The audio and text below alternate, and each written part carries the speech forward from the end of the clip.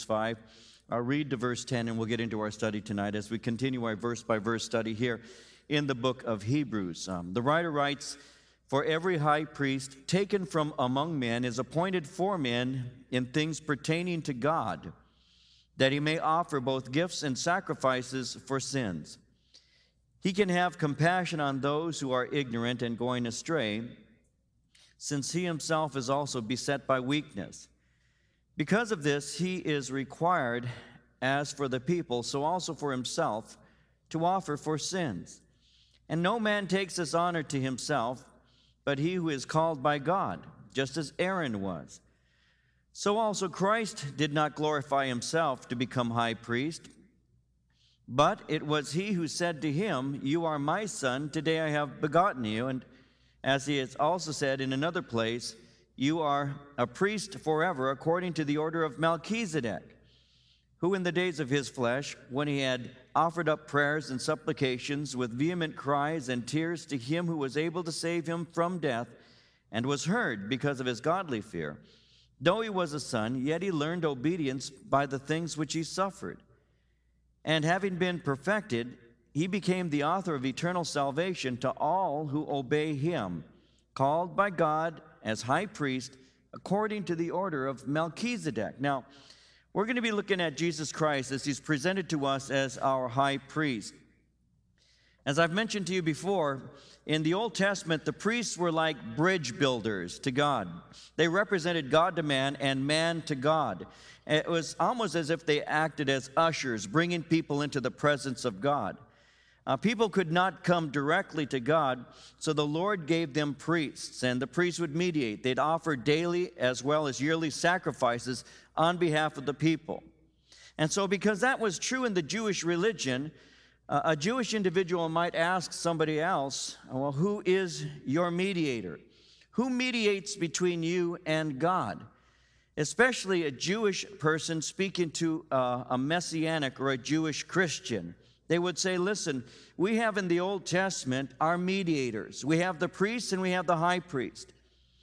We have somebody who can usher us into the presence of God. Who do you have? Who is it that you look to who can mediate for you?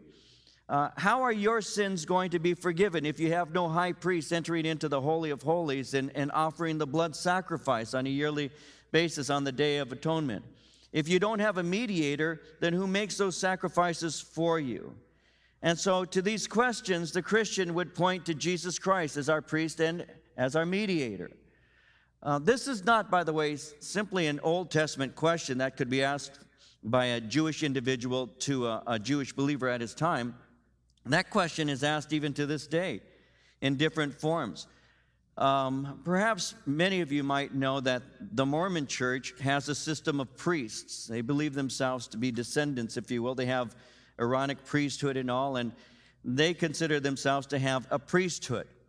And so I remember on one occasion many years ago now having a young Mormon missionary speaking to me and, and asking me the same question Who's your mediator? Because I had spoken to him and I had asked him, uh, Why are you trying to bring me into the Mormon church? Um, what do you have to offer me? And their response, the young man's response was, um, We have the priesthood. And I remember pointing out this particular passage by saying to them, I have a priest, Jesus Christ, who is my high priest. That was the answer that was given by Jewish Christians 2,000 years ago. That's the answer that believers give to this day. We have somebody who is our mediator, and that person is the Lord Jesus Christ. Jesus is the one who brings us to God. Now, he made that statement himself. We all know the scripture, John 14, verse 6 I am the truth, the way, and the life. No man comes to the Father but by me. But that's not the only place that is pointed out. It's also pointed out in 1 Timothy chapter 2 verse 5. There's one God and one mediator between God and men and that is the man Christ Jesus. We see that in Romans chapter 8 verse 34. Who is he who condemns? It is Christ who died, yes rather that is risen again, who is even at the right hand of God, who also makes intercession for us. We see it in 1 Peter 3:18. Christ also has once suffered for sins the just for the unjust, that he might bring us to God, being put to death in the flesh, but quickened by the Spirit. We see that in 1 John chapter 2, verses 1 and 2. My little children, these things write I unto you, that you sin not. And if any man sin, we have an advocate with the Father, Jesus Christ the righteous. He is a propitiation for our sins, and not for ours only, but also for the sins of the whole world. So the writer here wants us to know that we have a mediator. And it really answers the question who is your priest? Who brings you to God? And that's what we're going to be looking at today as he speaks concerning Jesus Christ, who is our mediator, who is our high priest. Now, in the first four verses here, and we'll look at those in, uh, together, he begins to speak concerning the qualifications of the high priest. He actually gives us four qualifications in these four verses. Four qualifications for the high priest, and we'll look at those one at a time. One, he points out that it is God who appoints the high priest. Two, he points out the high priest is taken from among men. Three, he points out that the high priest understands human weakness. And four, he points out that the high priest offers sacrifice on behalf of people. God appoints him, he's taken from among men, he understands human weakness, and he offers sacrifice. That's what we see in the first four verses here, and it's all applied to Jesus Christ. Now, the first thing we note in verse 1 is it says it this way Every high priest is taken from among men. That word taken is another word for chosen, selected. The high priest was selected by God taken from among men. And it's very clear who does that because in verse 4 he tells us, No man takes this honor to himself, but he who is called by God. And so the first thing he's pointing out is that God appoints the high priest. In other words, high priesthood was not something that you studied for, it wasn't something that you received through selfish ambition, it wasn't something that you planned to have. From the very beginning, the high priest was an individual selected to that position by God Himself. You can see that with the very first high priest in the Old Testament, a man by the name of Aaron. Aaron was the brother of Moses and was the first high priest and was specifically uh, selected by God. If you take notes, Exodus chapter 28, verse 1 points that out. In the Old Testament, it says, Have Aaron your brother brought to you from among the Israelites, along with his sons Nadab and Abihu, Eleazar and Ithamar, so that they may serve me as priests. So the first thing he points out is that the high priest is selected by God. Ministry, serving the Lord, is always by selection, and God selected the high priest. I can remember when my son David was a little boy a very little boy, just six or seven years of age. I'll never forget what he said to me one day. He said, You know, Dad, when I'm an older man, I'm going to take the church over. And I said, Oh, really? He said, Well, yeah, just think about it. You don't have to change the name in the bulletin, you can still be Pastor David. Well, I said, That's a great thing, son, and, and all of that. And it would be a thrill for me to be able to hand over my ministry to you, and God knows I'd love to do that. But I don't uh, select the pastor of the church, uh, God does. And you can't study for that, and you can't prepare yourself to be the pastor of the church or a pastor, period. Well, if it's true being uh, selected as a pastor, it is more true, if you will, being selected as high priest. And that's the point that was being made. One, he was saying, listen, you need to know and remember that every high priest is actually chosen by God, selected by God. God is the one who makes that choice. And remember with me, he's saying, remember Aaron and remember the priesthood in the Hebrew religion. And, and remember how God is the one who selected Aaron and God continues to select the priest.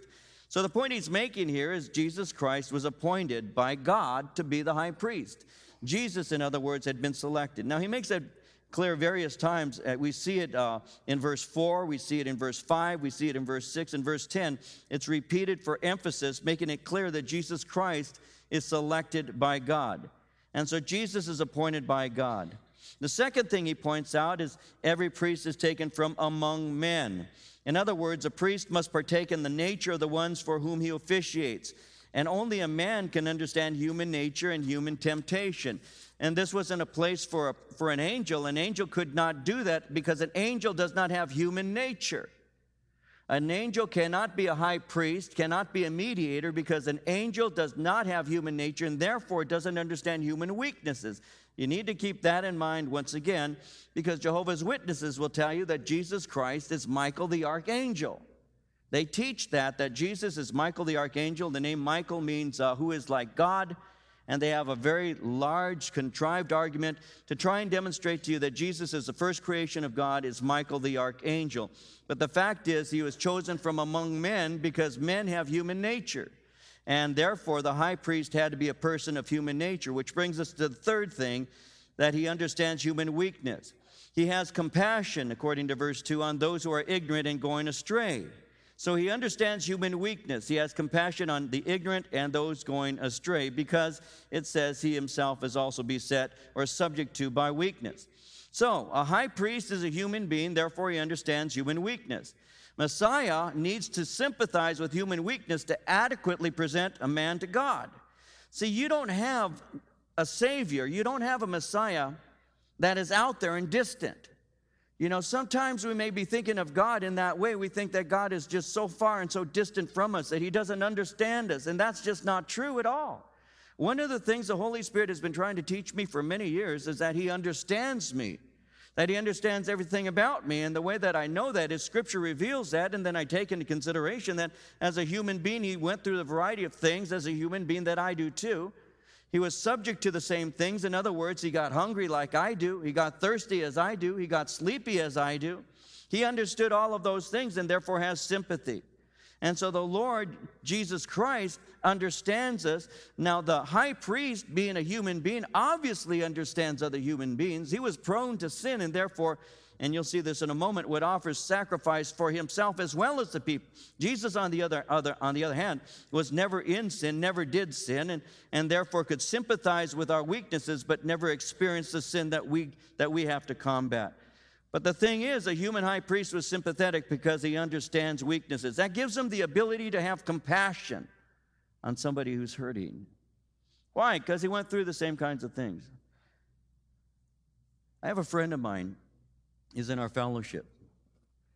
Um, his name is Renato. I hope he doesn't mind me sharing this. I don't, I don't think he would. Re- Renato and, and Renato comes to our fellowship. He's the lead singer uh, for uh, two or more.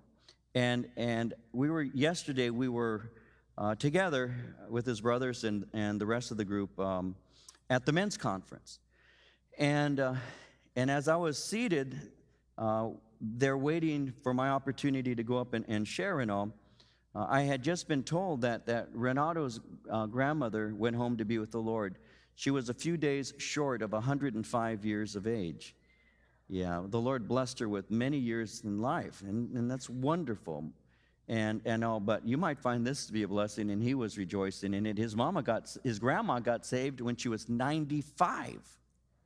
95 years old. God is sure good and compassionate and very patient. 95 years.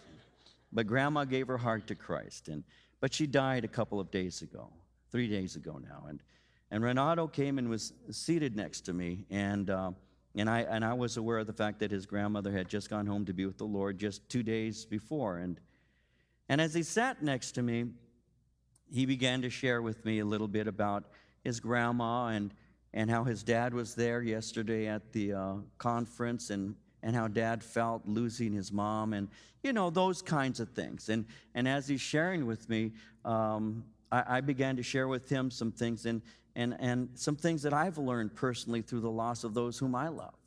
And, and as I was sharing with him, uh, yeah, I understand exactly what you're feeling like because he said, you know, he goes, I've never lost anybody a, a friend, a relative, anybody. I, have never seen them die. He said, This is the first time in my life that I have seen somebody like my grandmother uh, die. He said, and, and, I'm, and I'm shaken. And, and as he's speaking to me, he, he, he does what anyone would do. He begins to weep, and the tears are pouring down his face. And, and, and I reach my arm around him. I hope you don't mind me explaining that. But I put my arm around him, and I held him in my arms. And, and, as, and he just he composed himself, and I just put my arms around him, and, and I shared with him, and I, and I shared the things that God has taught me about that. You see, that's what he's saying here.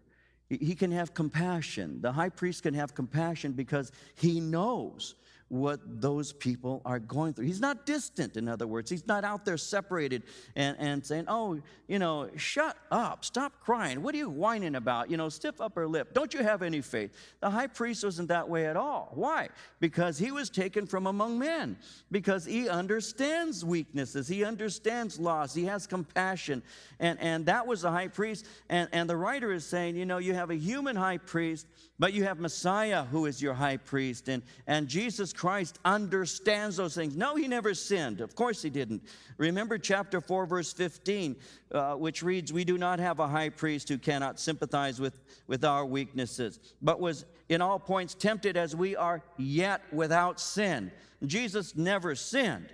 He never participated in man's sin, though he does understand men's feelings. Jesus was, was one who committed no sin. And Jesus Christ takes our sins away, and in him, according to 1 John 3 5, there is no sin. But he can deal uh, gently with the ignorant and those going astray and have sympathy. Now, in verse 2, when he says the ignorant and those going astray, uh, it, it's another way of saying ignorant, those who sin uh, not by choice, but, but by mistake. There are, there are times that we can actually uh, uh, break a law without even knowing that we, that we are. You know that to be true. If you've been pulled over by a police officer and the officer says, Why are you, did you do this? And you can look at him and you can say, What are you talking about? I didn't do that. Yes, you did. We saw you. Uh, well, is that against the law? Oh, yeah, there's a law in this, in this city or this county that says you can't do that. Oh, well, that was my mistake. I didn't intend to do that. Many of us have tried to argue ourselves out of tickets that way, and sometimes we actually didn't mean to do that. That's an ignorant thing, but you still broke the law. Ignorance of the law is no excuse. And so he speaks concerning that. He says, You can be ignorant, the ignorant who, who sin by mistake, but he also speaks of those who are going astray. Interesting way of putting it those who are being led astray, literally, is what he's talking about. Those who have been influenced, who are moving away from doing the right thing. And so he deals gently with the ignorant and those going astray and has sympathy with them. In other words, he treats them with compassion because they are unintentionally going in the wrong direction. Now, because of this, according to verse 3, he's required, as for the people, so also for himself, to offer for sins. And so what he does is he makes an offering an offering for sins. He offered gifts and sacrifices, and that's what the, the priest would do. Uh, when he gave the gifts, that would be um, grain offerings. It could be financial offerings unto the Lord that he would offer it, but it was bloodless. When he made sacrifice, those are sin offerings. Now, these sacrifices didn't eradicate a person's ability to sin, but provide forgiveness for them because they have sinned. And so the priest would offer sin offerings. And, and what he would do is he'd offer sacrifice for himself as well as for the sins of the people uh, revealing that he has relationship with them as a human being. That's what it means in verse 3 when it says, Because of this, he's required, as for the people, so also for himself, to offer for sins. Verse 4 No man takes this honor to himself, but he who is called by God, just as Aaron was. So he returns to the thought of verse 1 by pointing out very specifically that the Lord Jesus Christ was anointed by God to be the high priest. Now he's developing all of this, and now he's going to go a little bit further. Verse 5 So also Christ did not glorify himself to become high priest, but it was he who said to him, You are my son, today I have begotten you. As he also says in another place, You are a priest forever, according to the order of Melchizedek. And so he answers the question How can Jesus be high priest? Remember with me, and some of you are familiar with this already, perhaps some of you aren't aware of this yet. The high priest was taken from a certain tribe. The tribe that the high priest was to be taken from is the tribe of Levi. The tribe of Levi was the tribe that Aaron was from, the nation of Israel being broken into 12 specific tribes. The Levitical tribe is the priestly tribe. Here's the question Jesus Christ is not of the tribe of Levi. How can he be a high priest? Jesus came from Judah. And because he's from a different tribe, the question obviously would be asked listen, if God selects the high priests from among men who are from the Levitical background, how is it possible that he would be referred to as a high priest because he isn't from Levi? How did Jesus Christ become the high priest if he's not a Levite? And so the answer is the priesthood is not after Levi, but actually predates Levi. Now, how did that happen? Well, he makes reference to somebody named Melchizedek. Melchizedek is one of those really interesting people in Scripture that, that basically, basically they appear and they disappear, and you don't have a lot of information about this guy, Melchizedek. You see him in the book of Genesis, you see him in the Psalms, and you see him several times here in the book of Hebrews. A man by the name of Melchizedek. But what is happening here is the writer is saying, listen, the order of priesthood that Jesus Christ is part of is not Levitical, but predates the Le- Levitical because Melchizedek was an individual who went to Abraham and Abraham, the father of the Jewish nation, actually um, regarded him as priest of the Most High God and even offered sacrifices and gave to him offerings. And so his point is, is that uh, Jesus Christ is other, after an older order. In Genesis chapter 14, verse 18, uh, the Bible, speaking of Melchizedek, says that he was a king of ancient Salem. When you see Salem in the Old Testament, that's another name for Jerusalem. So Melchizedek was the king of ancient Jerusalem, is the point that he's making. In Psalm 110, verse 4, which is a messianic psalm, it says, The Lord has sworn and will not relent. You are a priest forever according to the order of Melchizedek being a messianic psalm that simply points out that Jesus Christ followed a different priestly order. Now, this man lived centuries before Aaron. And, and his priesthood, interestingly enough, and it's almost, I'm almost wishing that I'd have just done a full study on Melchizedek as I'm speaking to you now because I'm thinking of things that I should have told you. Uh, but you don't know what I'm thinking, so it doesn't matter, does it? Um, Melchizedek. I'm going to slow down and give you a few things. Um, very interesting man. He appears before us in Genesis. Abraham, the father of the Jewish nation, offers him sacrifices, and he basically disappears. You'll see more of him later on in chapter 7, but he basically disappears from the scene. And yet, he is the priest of the Most High God, and he's the king of Salem. Melchizedek means king of righteousness, Salem, king of peace. Melchizedek, the king of righteousness, the king of peace, is a type. We'll see this later on. I have to be careful not to get ahead of myself. He is a type of the Lord Jesus Christ. That's the point that's being made here by um, the writer of Hebrews. He is a type. Jesus Christ answers to certain elements that you see in him. The interesting thing about him, as I mentioned earlier, is you see him mentioned in Genesis 14, you see him mentioned in Psalm 110, but you never see him again. He appears on the scene and disappears, but he is used as a type because he has no genealogy, having neither father nor mother, he says later on, which is a picture of the eternality of Christ in the sense of Jesus is inhabiting eternity. And so they use Melchizedek as a type to present the priesthood. The priesthood that Melchizedek, Melchizedek has predates the Aaronic priesthood by some six centuries because he appears on the scene something like 2,000 years before Christ, and, and the Levitical priesthood doesn't appear until about 1,400 years before Christ. So 600 years pass between the mention of Melchizedek and the revelation of the priesthood. The argument that the writer of Hebrews is giving, therefore, is that Jesus' priesthood predates the Levitical priesthood. So, a Jewish individual who will be saying, How can you say that Jesus, Messiah, is Messiah and is, is a, a high priest, seeing that he's not from the tribe of Levi?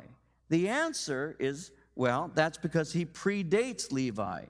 And that's because he actually is of a different lineage. That's what the psalmist in Psalm 110:4 says you are of the order of Melchizedek. And so the point he's making here is that the high priest is appointed by God, taken from among men, understands human weaknesses, and offers sacrifices. Yes, it's true, Jesus Christ is not a Levitical priest, but he predates him following the line of Melchizedek.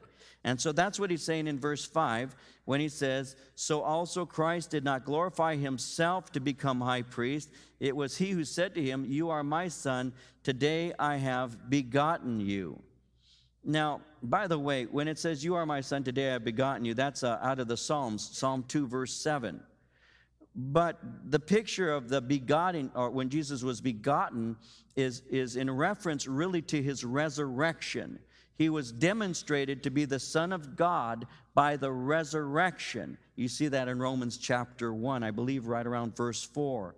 And so Jesus Christ is the Son of God. That's the point that he's making and has the power of resurrection. And then in verse 6, or was raised by the power of the Spirit in his resurrection. And then verse 6, as he also says in another place, you are a priest forever according to the order of Melchizedek, who in the days of his flesh, when he had offered up prayers and supplications with vehement cries and tears to him who was able to save him from death, and was heard because of his godly fear. Though he was a son, yet he learned obedience by the things which he suffered. And so he continues on for us to, to speak concerning Jesus Christ and his ministry. Now, notice what he says who in the days of his flesh, when he had offered up prayers and supplications. When it speaks of his, the days of his flesh, that's another way of speaking of his incarnation, the 33 years that Jesus lived on the face of the earth. And as he lived, he offered up prayers, supplication, uh, vehement cries, and tears. Now, those words are all very powerful because prayers speaks of need. Supplications are urgent requests. Vehement cries are, are, are loud outcries from one who's deeply been deeply disturbed, and, and tears are the visible manifestation of grief.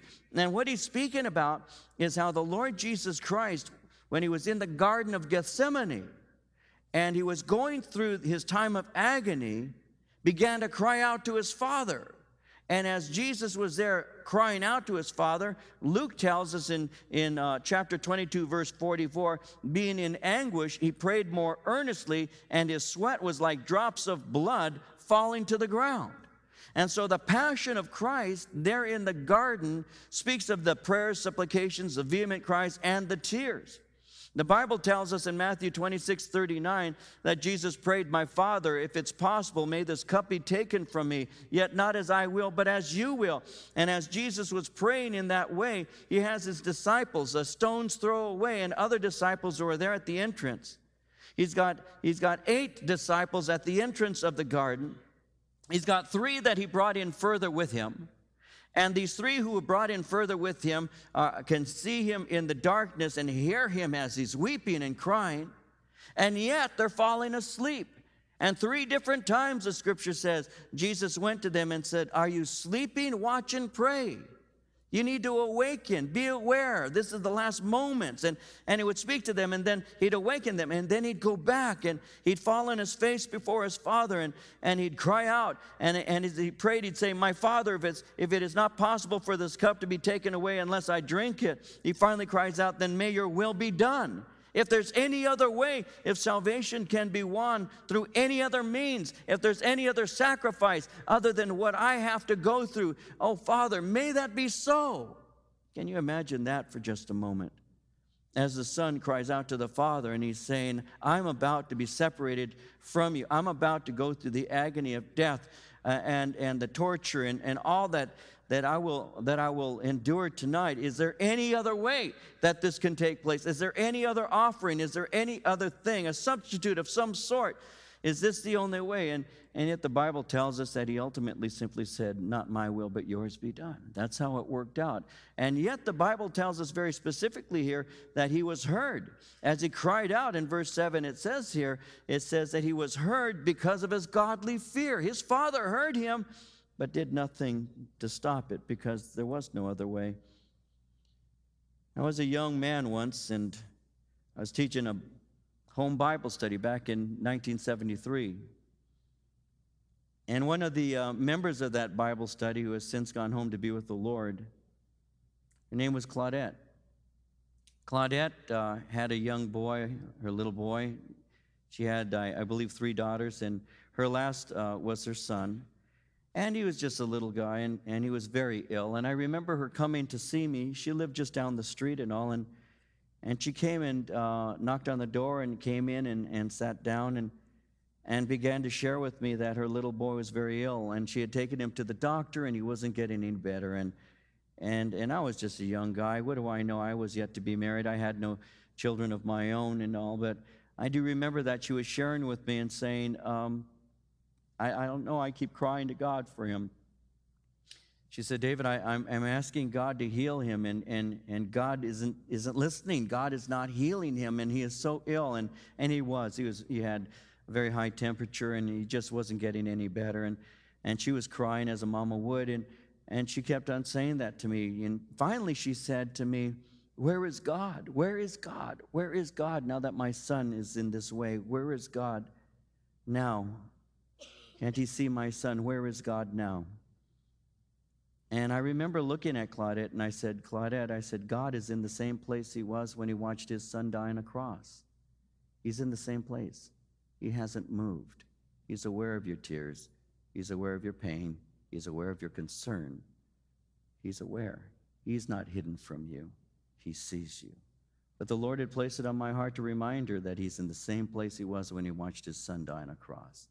That doesn't show a lack of love when you allow somebody to go through something like that. In case of Jesus Christ, it most certainly didn't show lack of love. His Father heard him.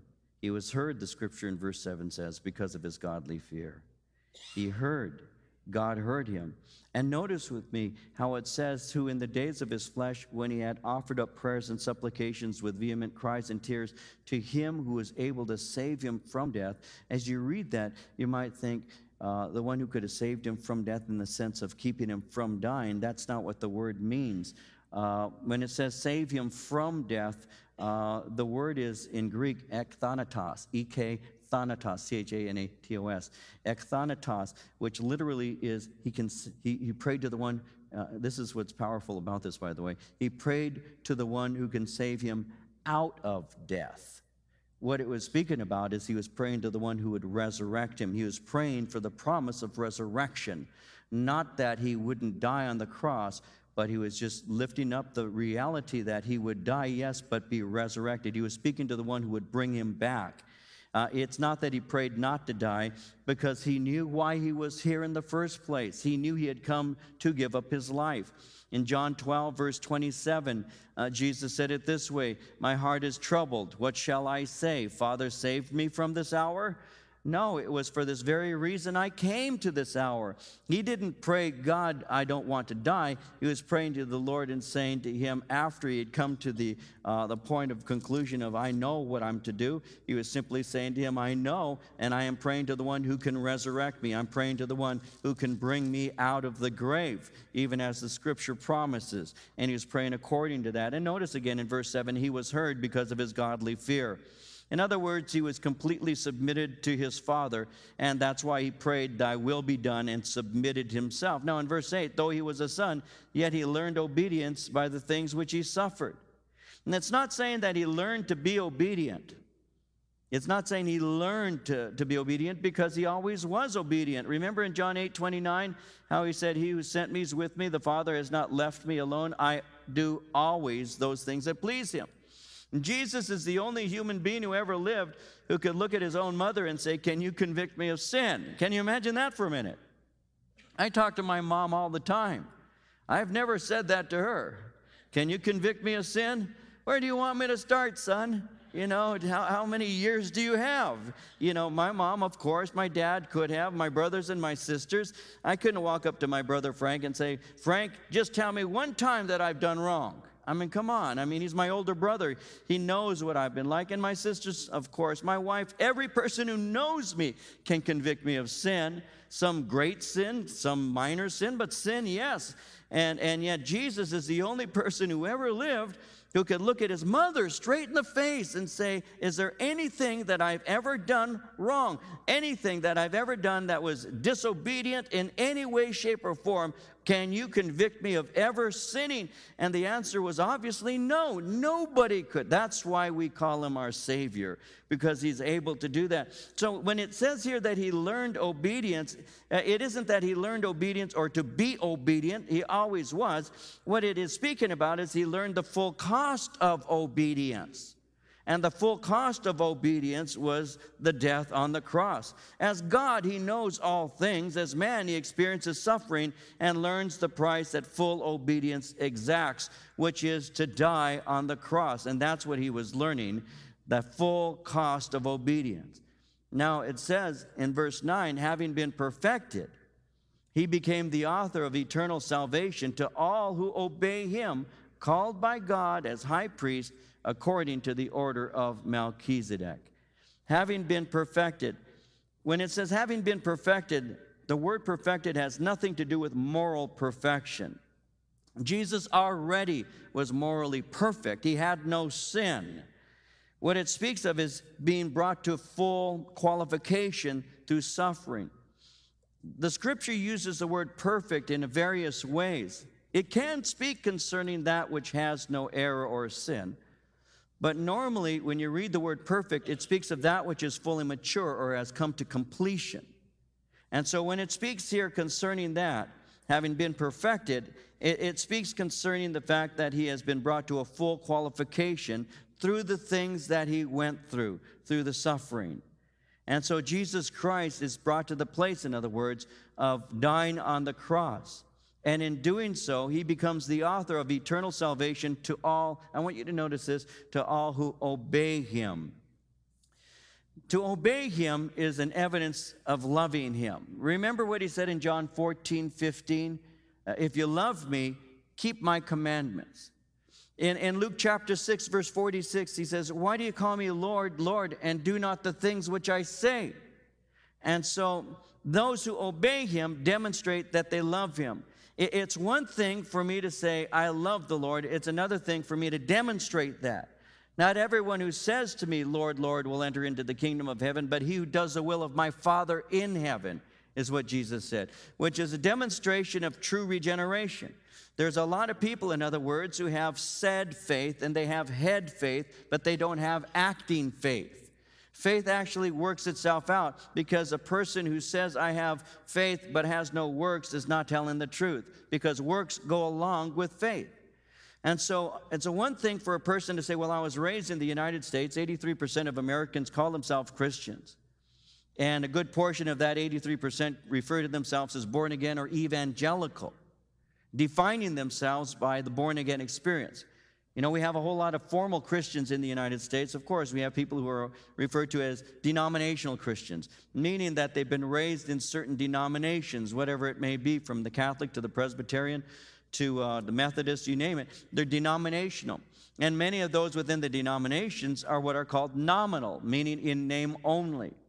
And so there are numerous people who will take the surveys and, when asked, What is your religious preference, will say, I am a Christian. Sometimes I watch some of these girl shows with Marie. You know, I admit it, I'm not ashamed. Actually, I am to a degree. I probably shouldn't have said this to you. But anyway, sometimes I do. You know, whose wedding is it or something like that? I forget. Some wedding programs. And Marie's really not big on that either, but we'll sit down once in a while just to be fascinated. Oh, this is the Bridezilla. Anybody ever seen that one? Oh, amazing. Bridezilla. Amazing. Monstrous, monstrous brides. But and it's it's almost entertaining if it's so tragic, but I do, I have seen it. And and and I watch that, and these people sometimes are just so profane. I mean, they get so angry and, and they're so mean and, and they use some very colorful language sometimes and, and, and, and they just go berserk and, and they freak. And, and it's, all, it's all just before their weddings. You know, you got to see them after the wedding, but it's all before the wedding. And and they'll go all freaky even in the church. And they get mad at the pastors or they get mad at the at the bridesmaids and and they're all really angry and you know and and then they're walking up saying, you know, before God, I promise. And I trip on that. I just go, wow. I mean, they don't have a clue what they're saying. No idea at all about their commitments they're making to God and man because they want a church wedding. But if you were to ask them why, they're not going to say, Because I love the Lord Jesus Christ. He's transformed my life. I'm walking in the Spirit. I prayed for this person to be my husband or wife. They don't say that. It's because that's what we do. We get married in churches. I mean, we're called Calvary Chapel. You can imagine the amount of calls we would get at the first, people asking, can we use the chapel for weddings? Because they thought we were Calvary Wedding Chapel. And, and, and I would share, I've shared in the early days with our church, just because we're called Calvary Chapel and just because I'm a pastor doesn't mean that, that we will marry just anybody who approaches us. You go through premarital counseling with us. We want to make sure that you're not unevenly yoked together with an unbeliever. We want to make sure that you lay your foundations right in Jesus Christ because I said I'm a pastor, not a wedding chaplain. I'm a person who makes sure that the people that I am officiating over understand the, what it means to be married because I'm not about to do that and and not honor God. And you need to understand that too. And I used to be very clear at the first because I had to be, because people would come to church thinking, well, it's a church, he's a pastor, he'll marry me for a few bucks. And it doesn't work that way at all. It doesn't work that way at all. And yet we live in the United States, and today a lot of people claim to be Christian, even want to have Christian marriages and all, but they're not walking with the Lord. That's what Jesus Christ is somebody that we obey. And that's what it says. Having been perfected, he became the author of eternal salvation to all who obey him. And so Jesus Christ says to, him, says to us that there are things that he wants us to do, and therefore we say, Yes, Lord, I will do that. Why? Because I love you, because I've been born again. And when you called me and said to commit my heart to you, to be born again, I responded to that, and from that point on have had a heart to respond in obedience to you. That's how it works. All you need to do is ask yourself, if you want to test yourself whether Christ is in you, is do you long to be obedient to him? Does that matter to you? Do you desire to obey him? Because if you have a desire to obey him, it's good, it's a good evidence that you know him, that you have relationship with him. I don't know if I should tell you this, it came to mind. Okay.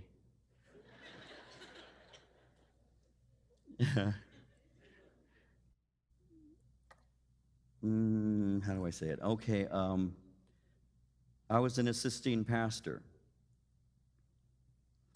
And the senior pastor, I was outside talking to him just before service when my wife Marie, this is many, many years ago, 27, 28 years ago now, and Marie walks up. And the senior pastor looks at my wife and says to her, You're supposed to be in church right now. Church services has begun. And Marie looks at him and says, You're not my husband. And I look at my feet. I'm the assistant pastor. And she's telling the senior pastor, You're not my husband. And I looked at her and I smiled at her. I said, Baby, you better get into church. Okay. She goes in. Later on, I talk to her. I say, Honey, he may not be your husband, but he is the pastor of the church. Well, you're my husband. I realize that, and thank God for it every day, I promise you. I promise you. But, baby, when he says that you need to do something, that's because you need to do it. Obey. Well, see, she was already learning to obey her husband.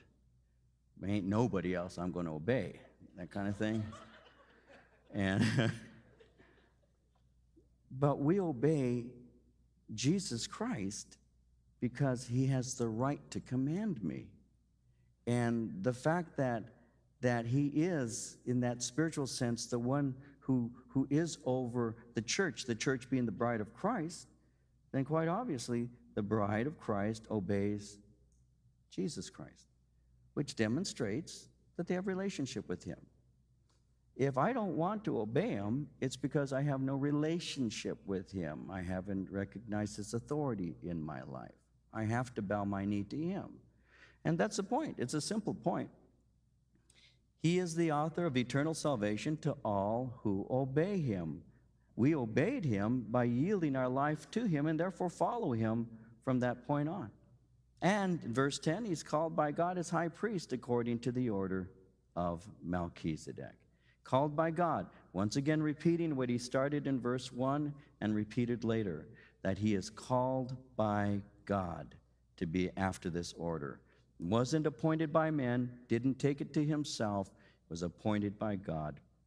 And as such, he has the right to give to us commands because he is our high priest.